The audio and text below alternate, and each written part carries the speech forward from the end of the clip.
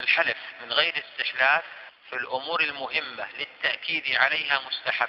ولا شك أن هذا من الأمور المؤكدة المهمة فحلف عليه الصلاة والسلام. ولذا أمر جل وعلا نبيه محمدا صلى الله عليه وسلم أن يحلف على قيام الساعة في ثلاثة مواضع.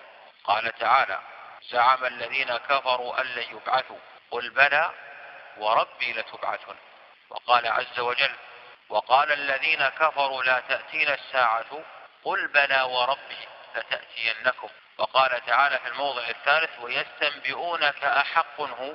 قل إي.